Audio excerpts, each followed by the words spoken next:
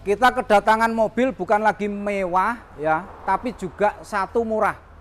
Ini dulu mobil pada zamannya BMW harganya cukup 30 atau 20 jutaan Mas Agung.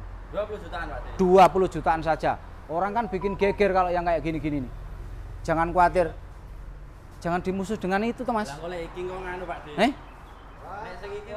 Lah ini nanti mobilnya gimana ini? Eh?